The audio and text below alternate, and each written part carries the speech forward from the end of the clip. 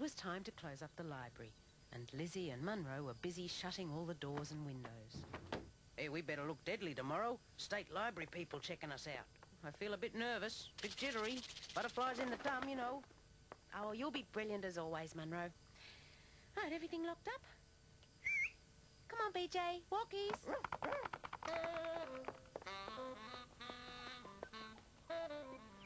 Hello, boy. What's this? Dear Munro, I am sick and can't come in today. Please bring me another book. Love, Lizzie. Ah, I wondered why she couldn't finish her chips and fish and stuff last night. Oh, don't be sad, my little mate. She'll get better. I'll fetch that book. Oh, Munro, Munro, the children, they're all with the chicken pox.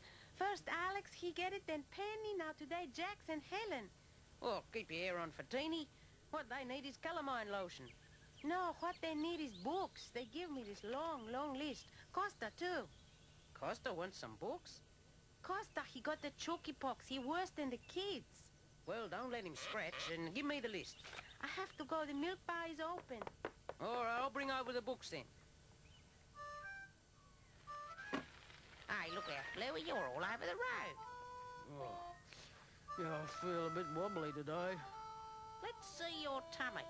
Oh, you... Oh. Oh, thought so. Chicken pox. It's going around. Home to bed with you. oh, Todd likes bananas in pajamas. Yep, I'll bring 'em over. Uh, videos. Right. Not another sickie. Oh, hello, Mrs. Prendergast. Yes, sir. I mean, yes, ma'am. Uh, we're inspecting your inspection. I mean, mm, noon. Oh, fine. See you then. Oh.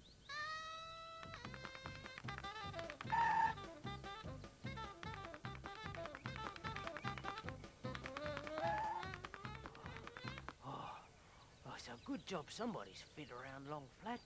What would they do without you, Munro? Oh, oh, yeah.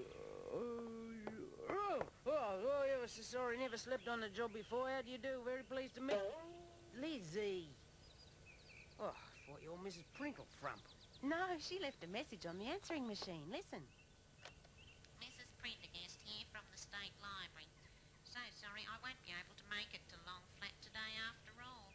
I'll see you both next week. Ta-ra. Whoa, hey, hey. Hey, how come you're better? Don't you have chicken pox? Me?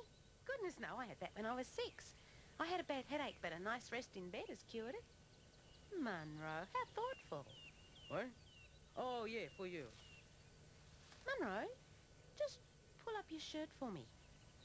Oh, hang on. I washed behind my ears for the inspection. I didn't think tummy button fluff was against the rules. Go on. Oh, I thought as much. You must have caught it from the children. does this mean I get to go home and have a rest? It certainly does. Boy, does that sound good. Only before I go, save you a few trips. Oh, come on, I'll take you home in Booksy.